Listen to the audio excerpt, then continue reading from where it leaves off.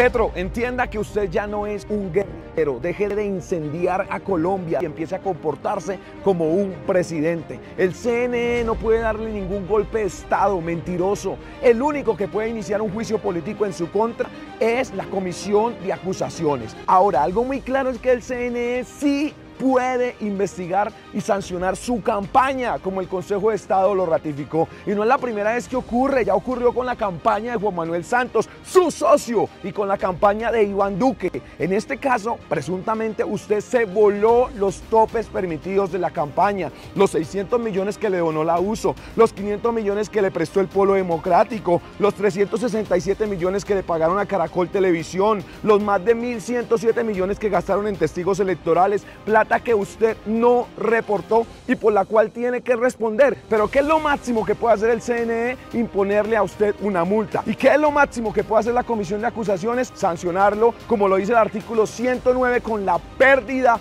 de su cargo. Ahora, yo quiero advertir a los integrantes de la Comisión de Acusaciones, si ustedes luego de conocer el fallo del CNE y de que sean recibidas estas pruebas no inician un juicio político contra Gustavo Petro, entonces los voy a denunciar ante la Corte Suprema de Justicia por violar el artículo 6 de la Constitución, el cual habla muy claro de la omisión. Gustavo Petro, le llegó la hora de responder por violar la ley. Si cuando fue guerrillero lo perdonaron, en esta ocasión no se va a salvar.